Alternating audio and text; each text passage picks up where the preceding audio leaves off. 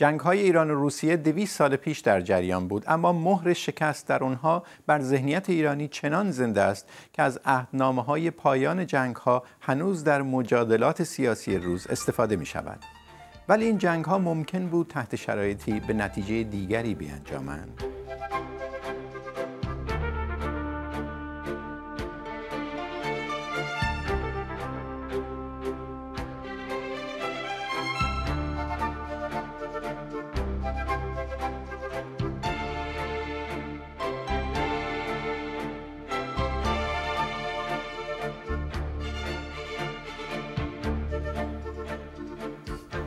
سلام. احساس سرخوردگی ناشی از شکست در جنگ های دو سده پیش با روسیه در ایران به سختی زایل می شود بخشی به دلیل اهمیت حفظ خاک برای مردمانی که زمانی امپراتوری وسیعی داشتند. بخشی به دلیل شرایط اسارتبار عهدنامه ها با روسیه به خصوص عهدنامه ترکمنچای که نه تنها به جدا شدن بخشهایی از ایران رسمیت بخشید بلکه امتیازهای زیادی برای روسیه در بر داشت. اونچه تخیل علاقمندان به تاریخ ایران در دو سده اخیر را برمیانگیزد این سوال است که می‌شد ایران از این جنگ ها پیروز بیرون بیاید یا حداقل شرایط کمتر رقتباری را بپذیرد بازیگران اصلی اون دوران و دو رکن اصلی قدرت یعنی سلطنت و علمایی که فتوای جهاد دادند هر یک چه سهمی در نتیجه جنگ ها داشتند و تا چه حد ممکن بود متفاوت عمل کنند. این موضوع را با مهمان های این هفته در میان می‌گذاریم.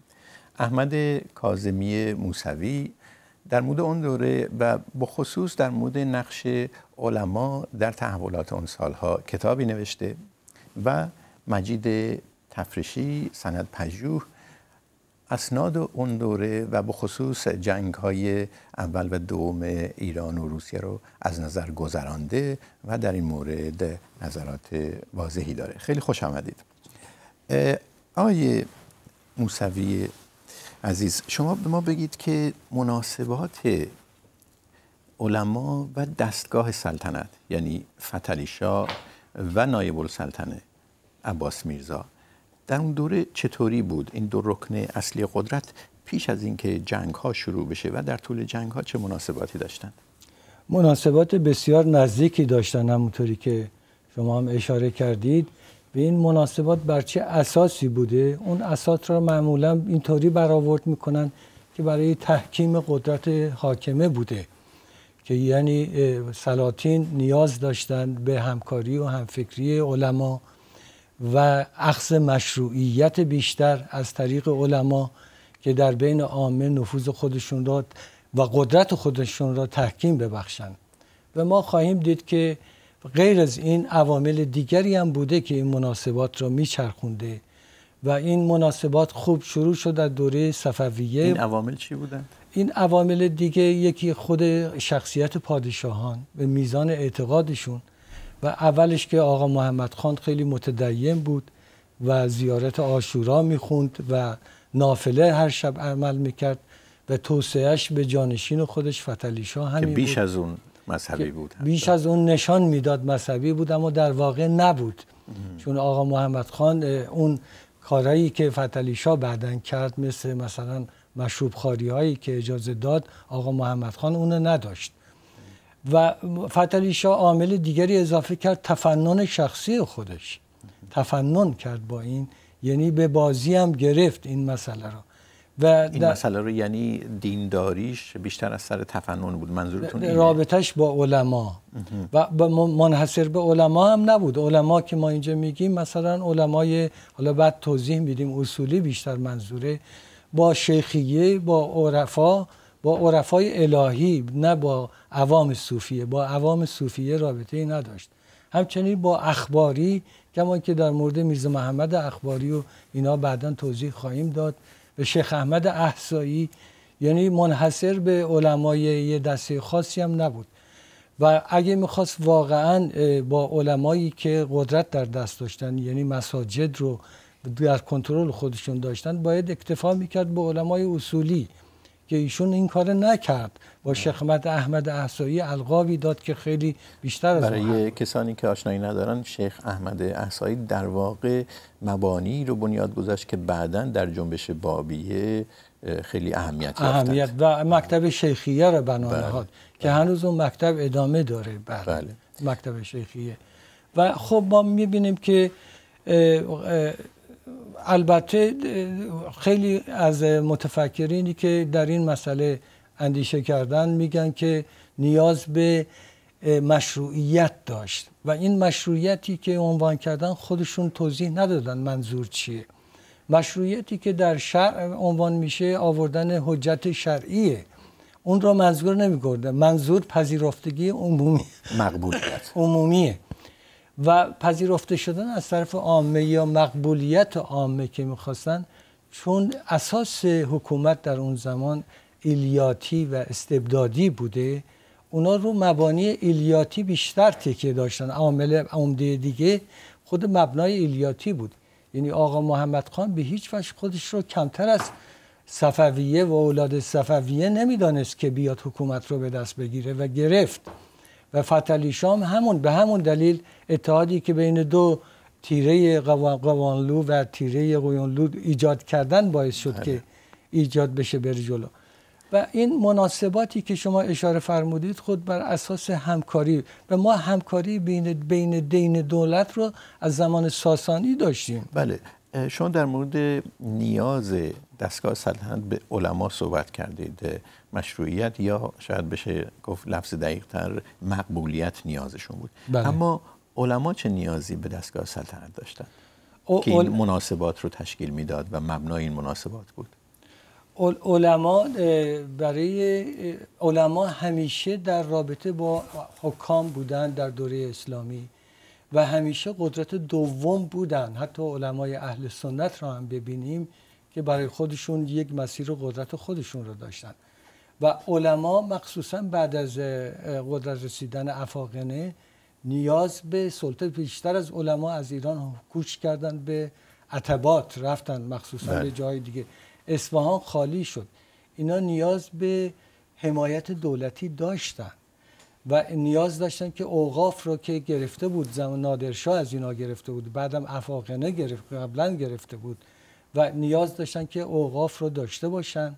و نیاز داشتن که تسلطی رو که بین مردم داشتن دولت حمایت بکنه به اینا بده و فتلیشا این کار را با نهایت اصراف و زیاده روی انجام داد حتی به سفارت فرستاد علما رو وقتی میگید حتی در بحث دادن جایگاه ویژه به علما اصراف خرج داد منظورتون چیه؟ منظورم اینه که به اونها را نهایت احترامی رو که ممکن بود کرد. در مورد یه مورد مثال می‌زنم در مورد میرزا ابوالقاسم قمی که در قم بود و خود قم رو مورد توجه فتلی ایشون قرار داد. میرزا ابوالقاسم قمی اطلاعات بسیار خوبی داشته که از اولین کسانی بود که قوانین اصول رو نوشت. خب ایشون وقتی که هر دفعه پادشاه می آمد به قم از مرکب خودش پیاده می‌شد. و میرزا ابوالقاسم قمی با یه الاغی می آمد به استقبال شاه. پیاده می‌شد و افسار الاغ میرزا رو می‌گرفت می‌برد به حرم حضرت معصومه و می‌گفت این کار رو برای این می‌کنم که مردم قدر علمای خودشون رو بدانند. شاه چنین می‌کرد. شاه این چنین بله. می‌کرد. خب این رفتار معلومه. میرزا ابوالقاسم قمی همون وقت ارشادنامه ای که در زمان آقا محمد خان نوشته بود گفته بود که علما برای راهنمایی مردم لازمن به پادشاه برای حفظ حکومت.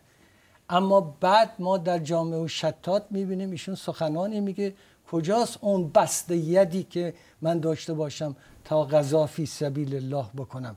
یعنی جهاد بکنم. دنبال بسته ید یعنی گشاده دستی بله. بسیار خوب. آیه تفریشی اوضاع ایران و روسیه در مناسبات ژئوپلیتیک اون موقع چطور بود؟ یعنی هر یک از دو کشور از نظر توان نه فقط توان نظامی از نظر جایگاه چطور بود وضعشون؟ اگر اجازه بفرمایید من یه دو تا جمله راجع به صحبتی که جناب آقای موسوی فرمودن عرض کنم خدمتون ببینید اینکه آقا محمد خان مذهبی تر از فتلی بود کاملا درسته و بجاست. ولی فرقی که وجود داشت این بود که اولا آقا محمد خان عمرش کفاف نداد که مناسبات چند لایه و پیچیده‌ای با علما داشته چون عمر سلطنتش حداقل. و دوم اینکه به دلیل اینکه حکومت رو خودش به دست آورد مرتب در جنگ بود چه با در داخل چه در خارج در واقع اونقدر در آرامش نبود که با علما بخواد دیلی بکنه معامله بکنه یا مثلا بر سر قدرت چونه بزنه یا امتیازی بده یا امتیازی بگیره. بله. فتلی شاه اگرچه همونطور که به درستی فرمودن مذهبی نبود نسبت به آقا محمد خان ولی این مناسبات رو کاملا درک می‌کرد. علاوه بر همه این مسائل این بود که در زمان فتلی شاه بود که به معنای واقعی کلمه ایران وارد معادلات سیاسی بین المللی و منطقه‌ای شد به مفهوم مستمرش. قبلا بوده همیشه. حالا می‌خوام به سوالش به سوال شما در این معادلات منطقه و بین جایگاه هر دو کشور چطور بود؟ ببینید ایران رو اگر در جایگاه خودش به عنوان یک امپراتوری سابق یا یک امپراتوری ضعیف شده در نظر بگیریم در ابتدای قاجاریه کشوری که از پس چند دهه خشونت و جنگ منطقه ای از دوره صفویه به بعد باش مواجه بوده و در دوره فتحعلی شاه نسبتا به یک ثبات آرامشی رسیده. ببینیم خب کشور نسبتا مقتدری در منطقه. ولی در مقایسه با همسایه شمالیش و که روسیه تزاری باشه نه از نظر توان اقتصادی و نه از نظر توان نظامی و نه از نظر قدرت بین المللی و به عنوان اول قدرت بود و ماشین جنگی که روسیه داشت اصلا قابل مقایسه نبودن با هم. و این تصور که ما می‌تونیم به اصطلاح با روسیه هماوردی بکنیم برای یک جنگ تمام عیار کاملا بیجا بود. ما بگید چرا؟ ما در واقع روسیه بعد از کاترین کبیر رو در دوران جنگ ها داریم دیگه. بله.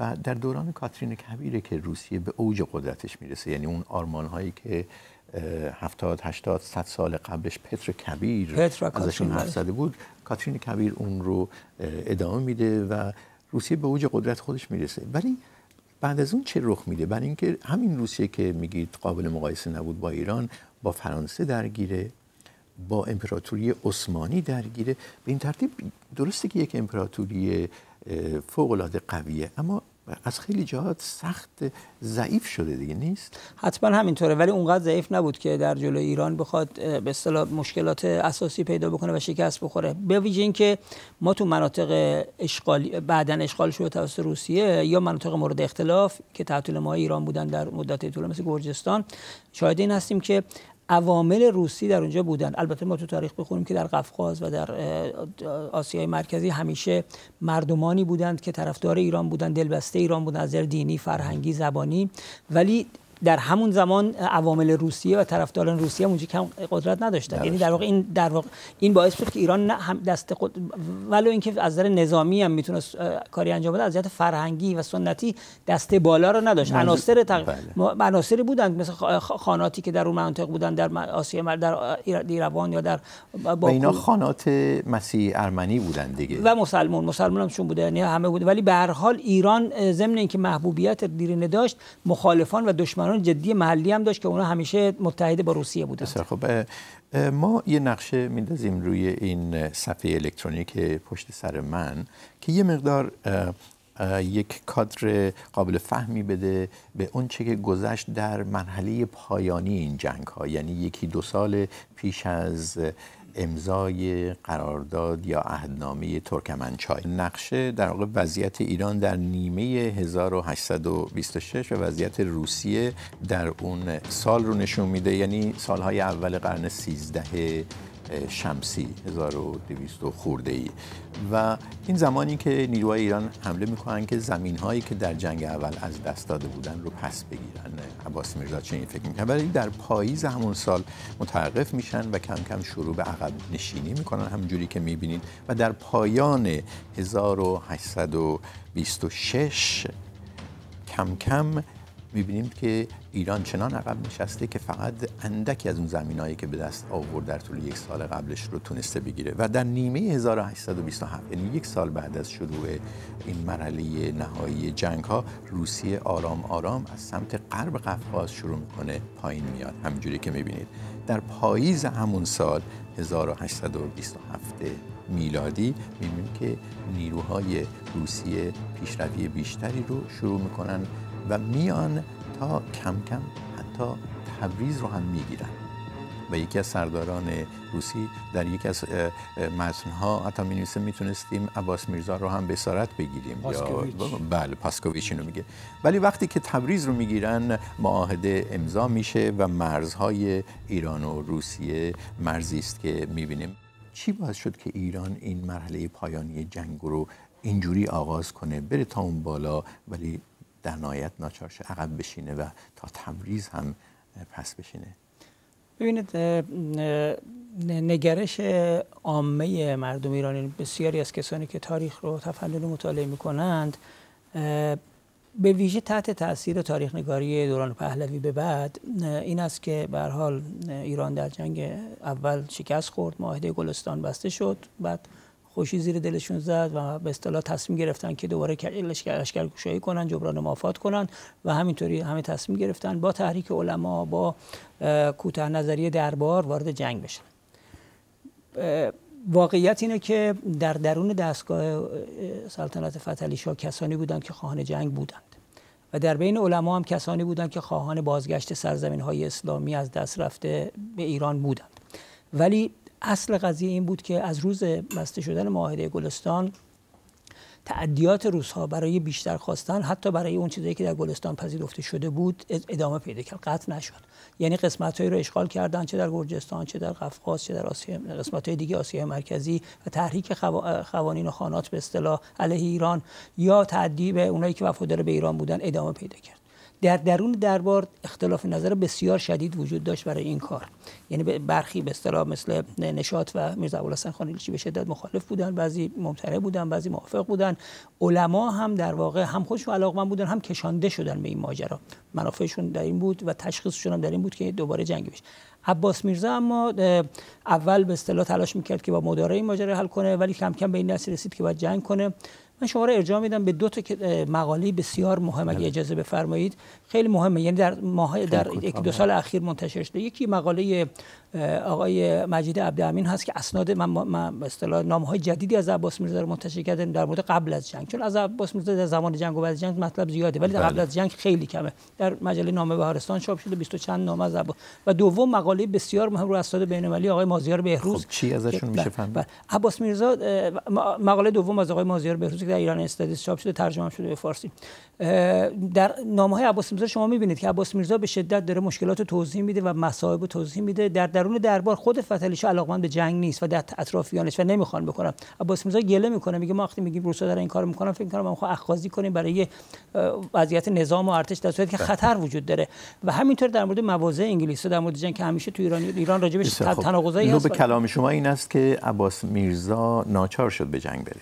ناچار شد ولی تشخیص داد در محل آخر ولی دیگران بله. موافق نبودن تا, بله. آخر آقای موسوی در کتاب شما رجب عباس میرزا زیاد گفته شده آیا عباس میرزا واقعا عامل اصلی در به جنگ رفتن عباس میرزاست که از حکومت مرکزی از فتلیشا می‌خواد که حمایتش کنه. عباس میرزاست که تماس ویژه‌ای با علما داره. عباس میرزاست که با فرستادگان قدرت‌های بزرگ انگلیس فرانسه در تماس و عباس میرزاست که نیروهای ایران رو رهبری می‌کنه. بین طریق یک چهره کلیدیه.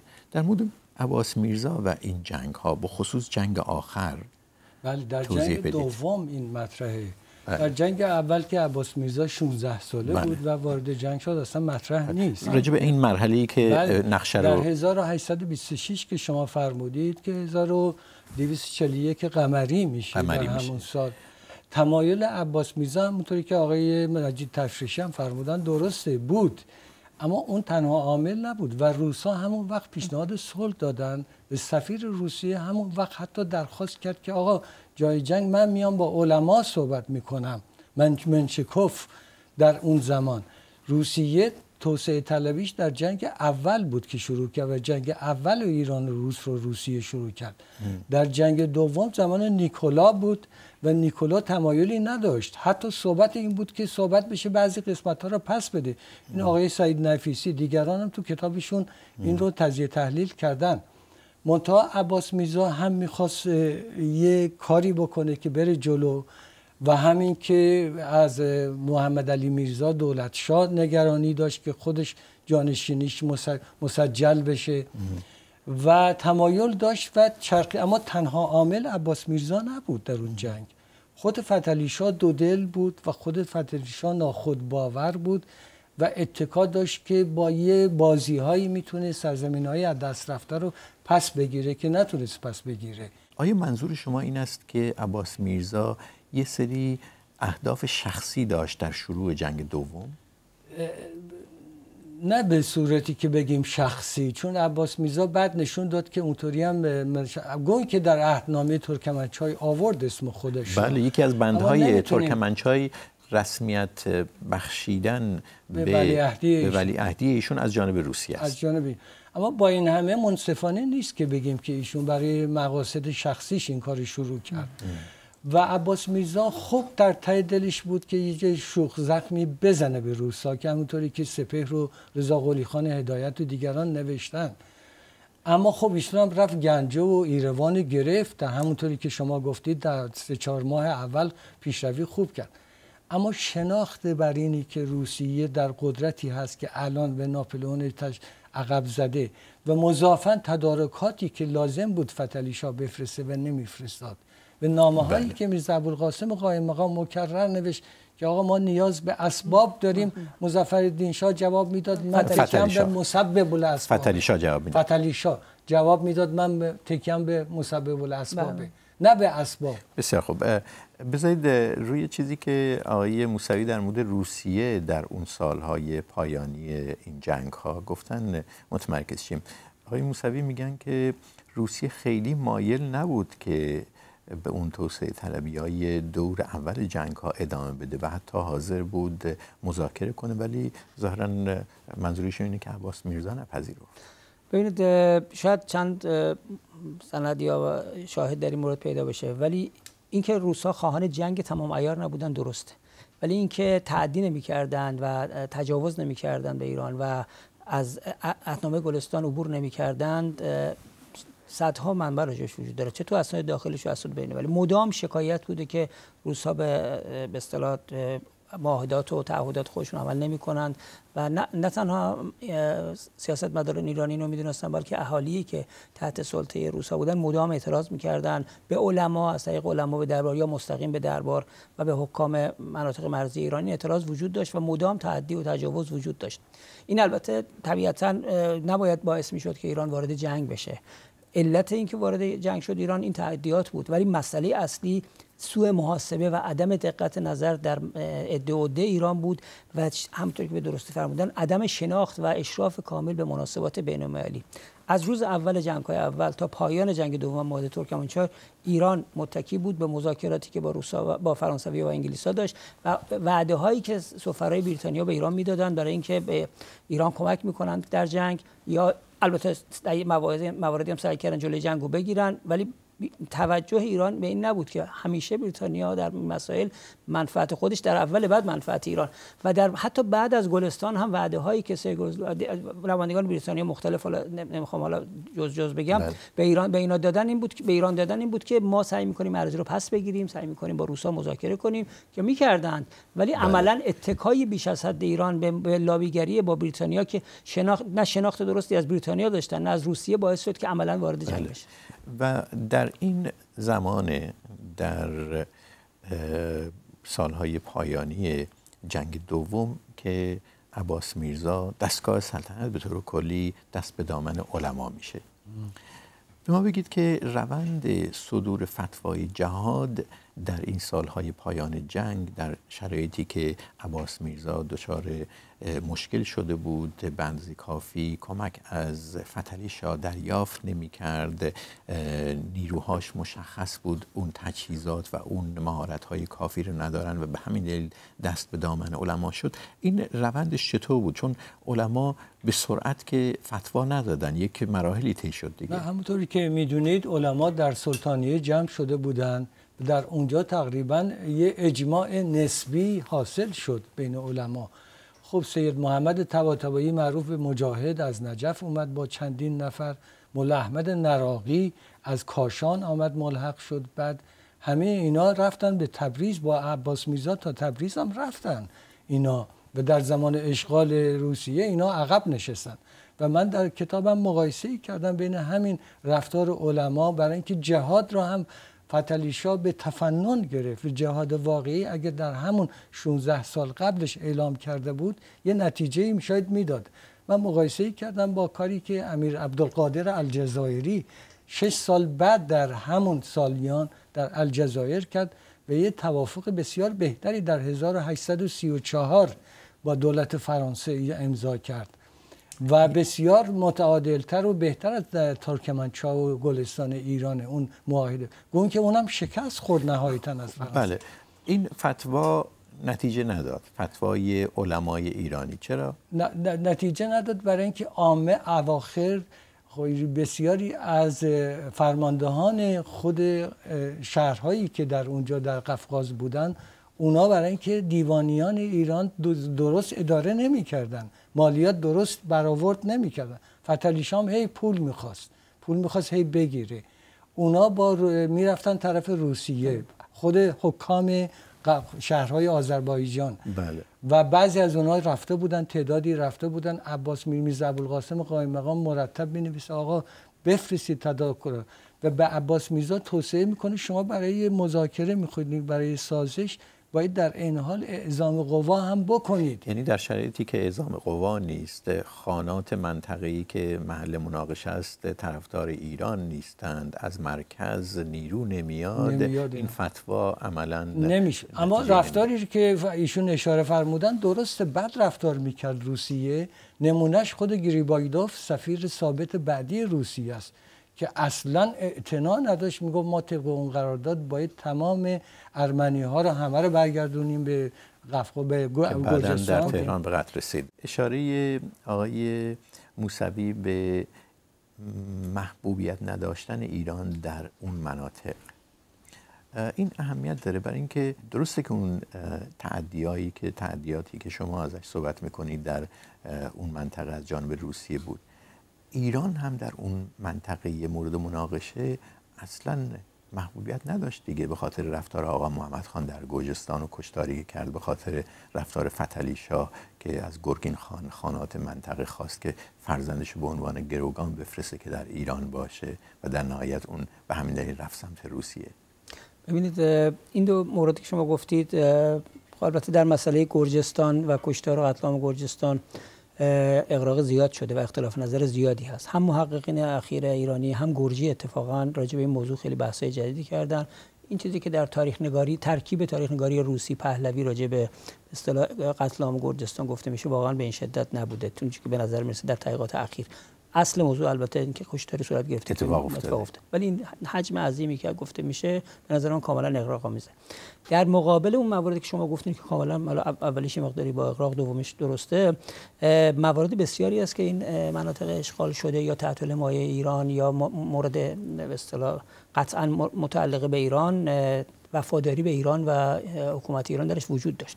البته اصل موضوعی که شما بهش اشاره کردین یعنی ناکارآمدی و فساد و سوء مدیریتی که در اوایل قاجار در این وجود داشت قابل تردید نیست. یعنی کاملا درسته. حالا در اینکه دامنش چقدر بوده عمقش چقدر بحث است. بنابراین مسئله در ابتدا وجود داشته یعنی طرفداری با روسیه قدرت بزرگتر بوده پول بیشتر داشته امکانات داشته و راحتی بله. می‌داده ولی در طول جنگ ها به دلیل مشکلاتی که ایران این تشدید میشه بله. اینطور نبوده که بله. همیشه اینا 100 درصد بله. با روسا باشه آقای موسوی جهادی که علمای ایرانی اعلام کردند در مناطقی که مورد مناقشه بودند و مسلمان نشین بودند چون همونجوری که گفته شد هم ارمنی ها در این مناطق مختلف در قفقاز زندگی می‌کردن هم مسیحی هایی که گرجی بودن یا از اقوام دیگه.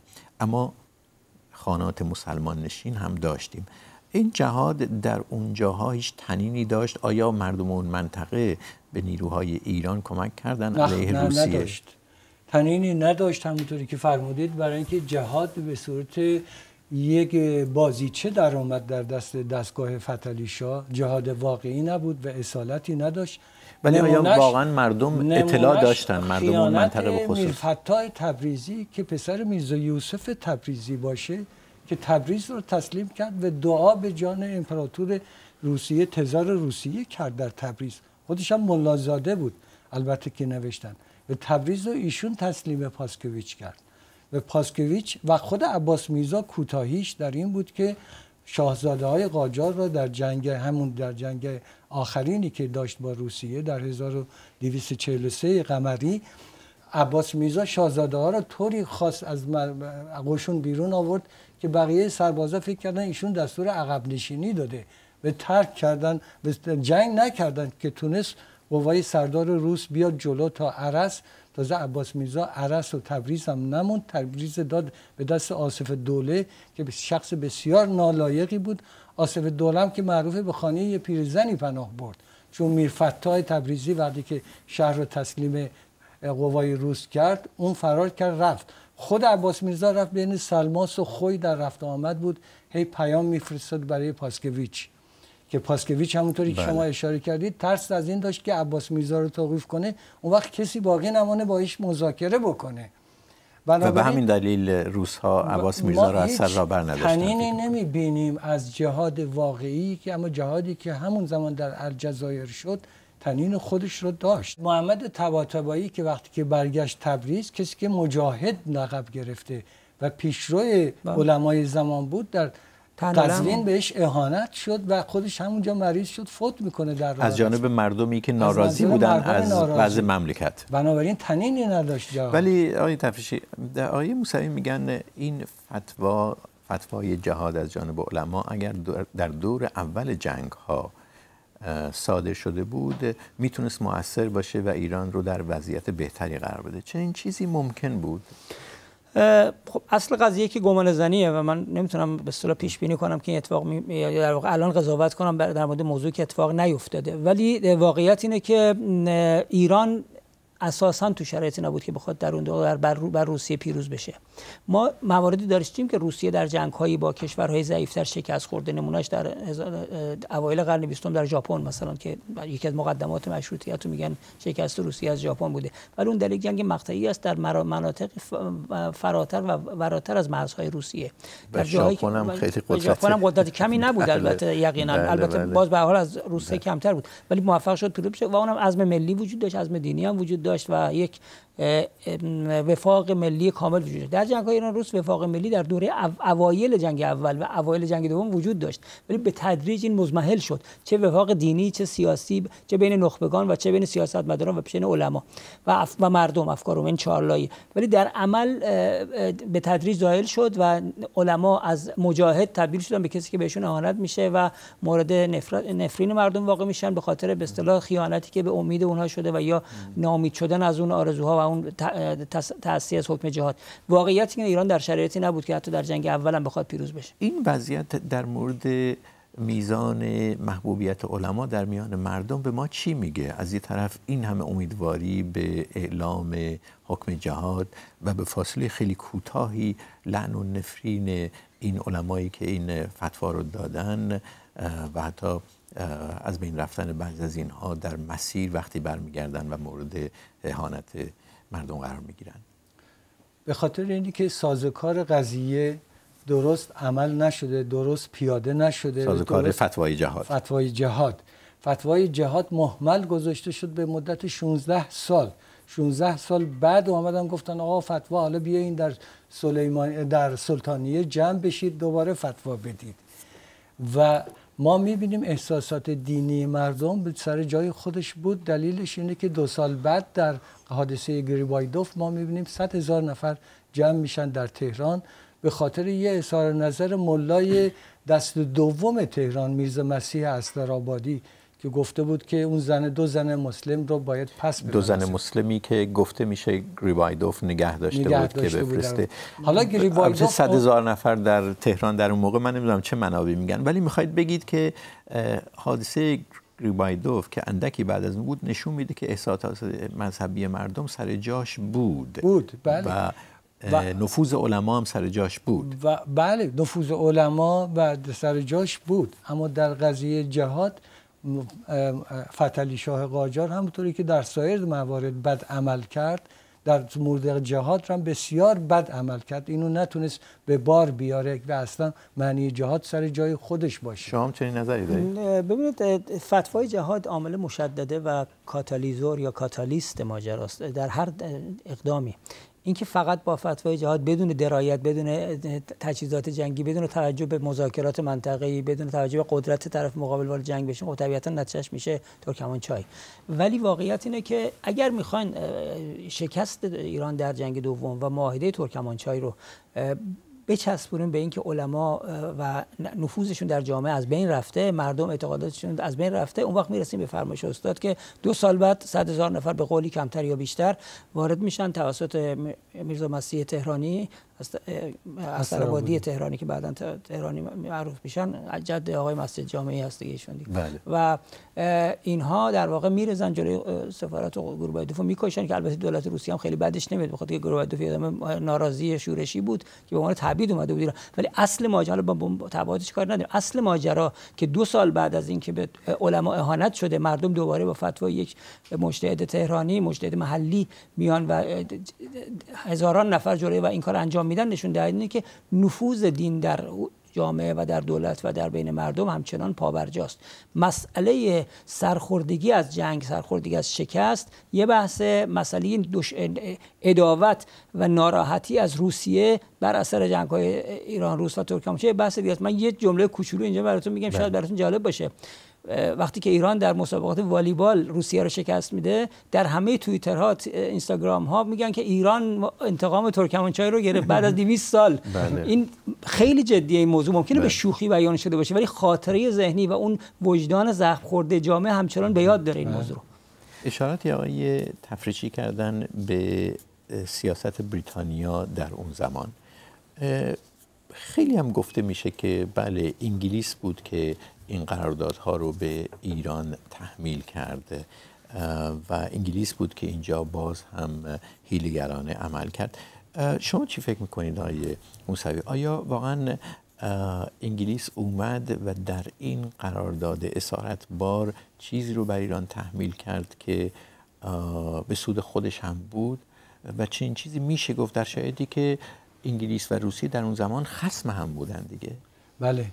در راستای سود خودشون دخالت کردن سفیر وقت روسیه نه به خاطر این به خاطر اینکه در دولت ایران کاری نمی کرد با اینکه منشیان بزرگی مثل میرزا بزرگ و میرزا ابوالقاسم قائم مقام داشتند اینها و با اینکه میرزا ابوالحسن خان ایلچی کبیر تازه یک کمی راه افتاده بود یا میرزا عبدالوهاب نشاد تازه وزیر خارجه شده بود استفاده نمی هر دو هم مخالف جنگ دوم بودند هم نشاد و هم ایلچه. کبیر. هر دو هم گفتن این مسئله رو و حتی اون اومد به مولا احمد نراقی گفت نشاد که آقا شما جلو بیافت و یه کاری بکن جنگ نشه با روسیه. همین حرفی که الان مطرح شد که آقا صلاح نیست ما با روسیه جنگ کنیم.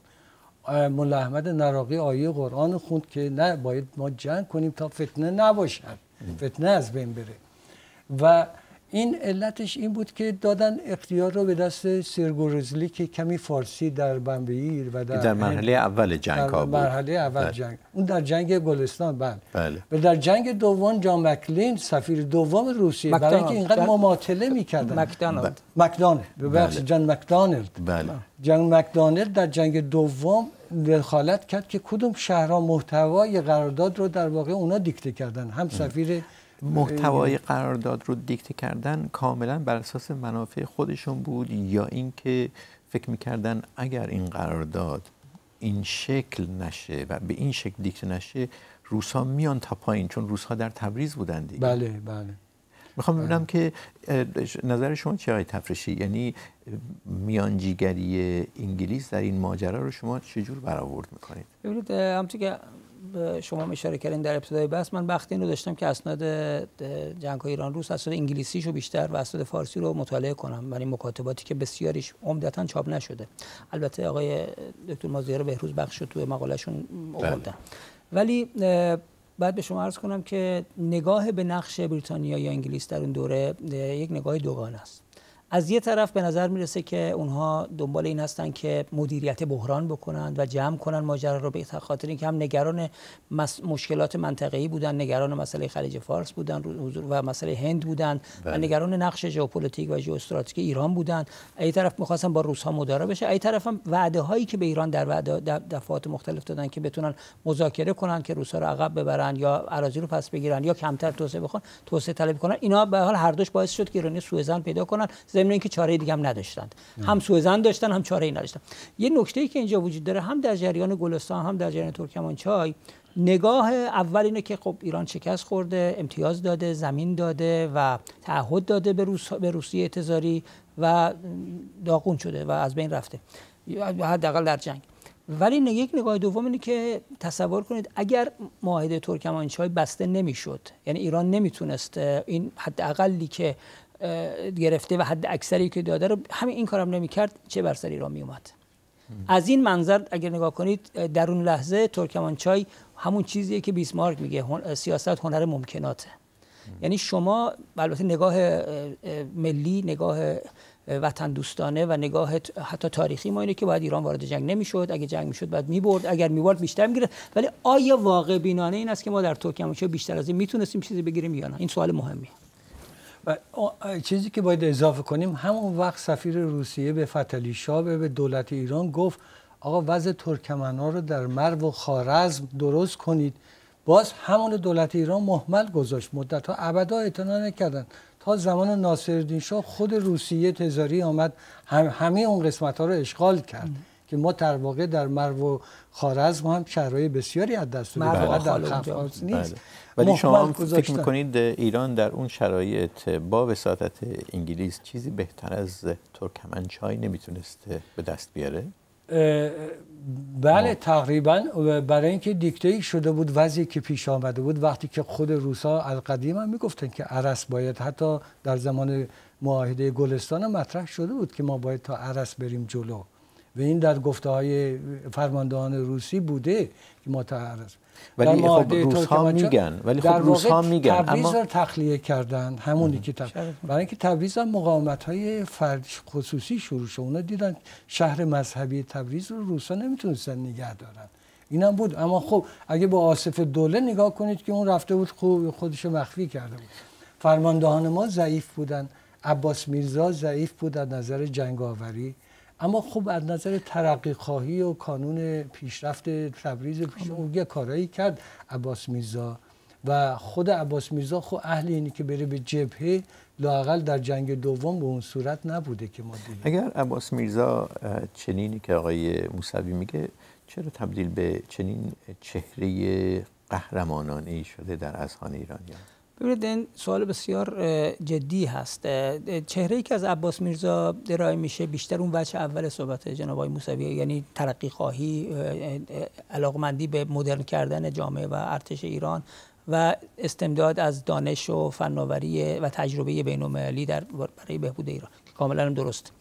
ولی چهره دوم به یک فرمانده جنگی و یک جنگاور خط مقدم در جنگ دومه که هم اسناد داخلی هم اسناد خارجی میگه که عباس میرزا به اون صورت اون چیزی که در تاریخ ما به قهرمان بی خدش راجبی صحبت شده نیست. چرا این اتفاق افتاده؟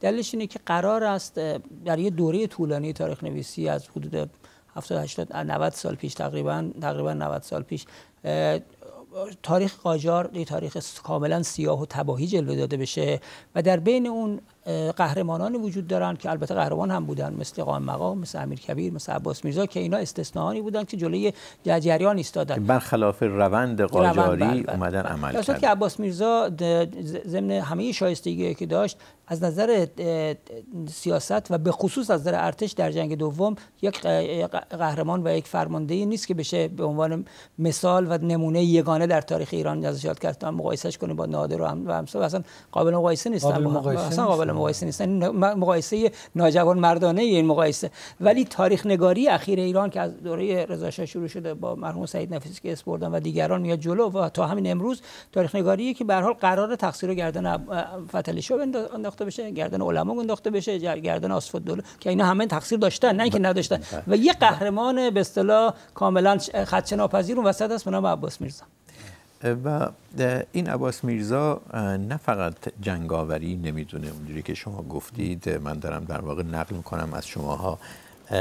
در این حال به نظر میاد در دیپلماسی و سیاست ورزی هم کاردانی اونچنان نشان نمیده. اما خب در این حال عباس میرزا گوش می‌داد به حرف فرستادگان فرانسه و انگلیس هر دو. و با سر هاروارد فورد یه گروهی از ایرانیان رو فرستاد برای تحصیل به فرانسه و انگلیس هر دو که اونا برگشتن و اونا اولین بار ایده این آوردن که رقبت علمای یوروپ به فواید عامه است. و از اون به بعد ما و بعدا دوره ناصر نیشان وزارت فواید عامه درست کردیم یعنی لفظ فواید عامه از اون موقع از اون وقت از نوشته های مسیر میرزا ابو طالب اصفهانی آمده. مسیر طالبی. و طالب اصفهانی آمده. بعدم همینطور تکرار. ما تا اون وقت مسئله فواید عامه را نداشتیم. خب بله. عباس میرزا یکی از کسانی بوده که این مسئله رو پرورد در بله. تبریز. بله, بله. آیه تفرشی اونها که میگن اون منطقه توسط روسیه قصد شد و روسیه اونجا تعدی کرد مردم مسلمان رو در ستم جدی قرار داد و این همینجوری ادامه پیدا کرد تا اوایل قرن بیست. به یه چیز نمی‌تونن پاسخ بدن. اونم این که اگر چنینه چرا وقتی نظام تزاری برچیده شد یعنی حدود کمتر از 100 سال پس از ترکمنچای دیگه مردم اون منطقه رغبت چندانی برای پیوستن به ایران نداشتن. اگر واقعا اینها مردم مسلمانی بودند که تحت ستم نظام تزاری تمام این سالها زیسته بودند چرا این پیوند دینی و وطنی باعث نشد که دوباره رغبتی نشون بدن برای بازگشت به ایران یا حرکتی بشه اعتراضی بشه. ما نداریم در سراغ در تاریخ سراغ نداریم. من نخوندم ندیدم. حتما وجود داشته در اون دوره. البته اینکه بعضی البته اقراق می‌کنن میگن خیلی بوده خیلی نبوده ولی وجود داشته. یعنی در سالهای بعد از در واقع از آغاز جنگ جهانی اول که میشه پیش از سقوط امپراتوری روسیه تزاری و قبل از حرکت روی کار اومدن بالشویسم به اصطلاح حرکت های جدایی هم جدایی طلبانه هم ایران دوستانه در مناطق آذربایجان قفقاز قفقاز جنوبی و آسیا مرکزی وجود داشته و الان هم مثلا در سال به خصوص بعد از دوران فروپاشی اتحاد جماهیر شوروی منابع زیادی راجبش منتشر شده. این که رایج بوده نه رایج نبوده ولی وجود ولی داشته. اون حرکات حرکات آذربایجانی های اون منطقه بوده. حرکاتی برای پیوستن به ایران بزرگ نبوده. به هر یعنی دوش آقای... بوده هر دوش وجود داشت ببین مثلا ما فرض کنیم مثلا رسول زاده رسول زاده وقتی حرکت بله. آغاز می‌کنه همین رسول زاده حرکتش رو به عنوان یک حرکت ترک های اون منطقه شروع بله ولی ولی در همون موقع مثلا فرض کنید در نماینده حکومت آذربایجان حکومت شور... آذربایجان شوروی تا تازه تاسیس در که موقع روز قبل از در ایران بوده عادل خان زیاد, زیاد خان. اعلام وفاداری با ایران می‌کنه و تا مدت ها ایران میمونه و طرفدارانی در اون منطقه داشته. و اینطور نبوده که نبوده. منتها دولت بلشویکی ضمن اینکه بندهای غیر ارزی غیر سرزمینی ترکمنچای رو لغو می‌کنه و یه استعماری بوده. دولت مسکو هست که حاضر نیست هیچ گونه مماشاتی در بازگرداندن اون اراضی زمین که ترکمنچای رو باطل می‌کنه اراضی رو پس نمیده. بله حرکت رسول زاده هم سرکوب کردن بله بله. بله, بله. برای اینکه هر نوع استقلال طلبی رو به اصطلاح سرکوب کردن. در اون منطقه بود در آزر... بیشتر از همه در آذربایجان بود در اینکه آذربایجان یک سری علاقه مشترک مذهبی هم با ایران داشت شیعه بودند و و حالا نه شیعه به سبک ایران, ایران امروزی ولی به حال شیعه بودن و هستند. ولی در مناطق دیگه هم علاقه ایرانی همیشه وجود داشته. این که اصلا وجود نداشته واقعا بی‌انصافیه. ولی اینکه اونو بگیم خیلی زیاد بوده و ایران دولت ایران بهش توجه نکرده واقعا نبوده زیاد. ضمن که دولت ایران هم در جنگ جهانی اول در دوران جنگ و در دوران کودتا و آستانه دهه دوم قرن بیستم واقعا دولتی نبود که بخواد اصلا امکان قدرت و فکری داشته باشه که بخواد به ایران بپرس. در شرایطی نبوده که مردم اون منطقه بخوان در واقع احساس یا احساس کنن که بعد کشور مهمی دارن. ایران کشوری بود که بعد از جنگ جهانی اول حتی به کنفرانس ورسای راهش ندادن. برای اینکه حتی حرفشو بشنون برای اینکه مظالمش رسیدگی کن در این شرایط چطور می‌خواست بگه بقیه؟ حتی قسمت خودش هم به زحمت تونست فروغی و دیگران نگه دارن که بخواد به دیگران بگه که به تمایلی در دیگران هم در بله. مسلمانانی که در اون منطقه کشور اشغال شده جنگ زده و بله. دچار گرفتاری های ناشی از جنگ جهانی که پیش اومده بله. آقای موسوی با این احساس سرشکستگی ناشی از این جنگ های ایران و روس و قرارداد ترکمنچای چیکار میشه کرد چون همونجوری که آقای تفریشی گفتن هنوز هم این چنان زنده است که وقتی یه تیم والیبالی میاد مقابل روسیه برنده میشه میگن این به جبران ترکمنچای. ما اغلب کشورهای جهان می‌بینیم تجربه شکست رو داشتن. بعضی کشورها بیشتر از ما مثل هند مثل مصر. تقریبا همه امپراتوری ها مصر رو گرفتن. خود ایران سه چهار بار مصر رو گرفت. اونا این ندارن. ما ایرانی ها یه مقدار زیادی احساس اینه داریم که یه شکست نمی بایست اینجوری می‌شد. در حالی که ما عوامل خودش رو تجزیه تحلیل نمی کنیم که چرا در اون شرایط حالا آقای تفریشی فرمودن که ما در اون شرایط بهتر از ترکمنچای شاید نمی‌تونستیم داشته باشیم. من نمیگم این حرف صد درصد درسته که می‌تونستیم با حضور کسایی مثل قایم مقام ها و حتی امیر کبیر که در می‌شد فکر می‌شد. اینو ما یه مقوله در واقع فکری و فلسفیه که ما ایرانی ها مشکل میپذیریم. میگیم نه حق ما این نبود. بنابراین یه جایی برمیگرده به اینکه باید بپذیریم که نه در اینجا ما باید وای میستادیم متوقف می‌شدیم. و هنوز الان ما داریم تاریخ نویسایی که میگن که آقا روسا شما را فریب دادن جنگ شکست اصلان دوست در جنگ اول ایران روس نمی باید عباس میرزا قبول می‌کرد. باید باز می‌رفت جلو می‌تونست بره جلو بگیره. در حالی که داریم نویسنده های محترمی داریم که زحمت کشیدن تحقیق کردن. میگن نخیر عقب نشینی عباس میرزا درست نبود در جنگ اصلان آیا منظورتون اینه که این احساس سرشکستگی ناشی از اون قرارداد ترکمنچای ناشی از نشناختن عواملی که باعث این شکست شد و واقعیاتی که, که واقعیاتند. واقعیات نپذیری. ما چون خیلی آرمان خواه هستیم برمیگرده به خلقیات خودمان یه مقداری. وگرنه خوب شکست در تاریخ برای همه هست. آقای تفریشی. ببینید یه بحثی که در تایید و تکمیل فرمایش جناب آقای موسوی بگم اینه که ما تو تاریخ نگاه وقتی که اتفاقات تلخ و شیرین برای ما میفته معمولا سالها باش زندگی می‌کنیم و در توهم این هستیم که اگر این کار رو می‌کردیم اونجوری می‌شد باید اینجوری باید بهتر از این می‌شد ولی توجه به این نمی کنیم که نسبت به اون حادثه اتفاق افتاده درس بگیریم و بازنگری کنیم و کالبد شکافی کنیم در همین کشور بریتانیا در تحولاتی که مربوط به ایران هست مثل مسئله نفت ملی صنعت نفت و مسئله انقلاب خب. اسلامی وقتی که این اتفاق میفته و اون چیزی که انگلیس ها می‌خوان پیش نمیره پیش بینی کردن پیش نمیره شروع می‌کنن یک کار بزرگ پژوهشی می‌کنن با مورخین یک کالبد شکافی می‌کنن. نمونه های مهم و درخشانی تو این زمینه انجام شده و به نفع در جهت منافع ملی بریتانیا که آنچه گذشت و آنچه باید یاد گرفت. و, در اصطلاح میگن بهترین آینده پژوهان مورخانند. وقتی ما تو این شرایط از این درس نگیریم. فقط در 200 سال در قصه داریم به سر بریم با شکست داریم. تلخیاش یاد می‌کنیم. ولی به نظر نمی‌رسه که تجربه راهبردی ملی و اجتماعی و فرهنگی از این شکست گرفته داشته باشیم کاری که آلمان ها و ژاپنیا به خوبی انجام دادن بعد جنگ جهانی دوم. ما فقط در اون شکست بودیم و به گردن همدیگه انداختیم. علما گردن دولت دولت گردن علما مردم گردن همه و همه گردن مردم. و در واقع شکست رو برای خودمون تبدیل به یک مرثیه گویی کردیم. که در واقع باید زندگی کنیم و همه تقصیرها رو گردن خارجی ها بندازیم و بله. در عمل هم اون شکست ها قابل تکرار شدن هستن چون ما ازش درس چندانی نگرفتیم. بسیار خوب خیلی ممنونم. به آخر پرگار این هفته می‌رسیم. تشکر از اینکه پایین بحث نشستید و همطور از مهمان های برنامه احمد کاظمی موسوی و مجید تفرشی. پرگار را پیش از پخش از تلویزیون روی یوتیوب منتشر می‌کنیم تا اگر مایلید اون رو شنبه ها زودتر ببینید. هم پرگار تلویزیونی و هم پادکست یعنی نسخه شنیداری پرگار رو در وبسایت بی بی سی فارسی منتشر می‌کنیم. پادکست برنامه که اندکی طولانی تره و چند دقیقه صحبت خودمونی بعد از خاموش شدن دوربین ها به اون اضافه میشه رو در کانال تلگرام بخش فارسی بی بی سی می‌تونید دریافت کنید. شب و روز بر همه شما خوش.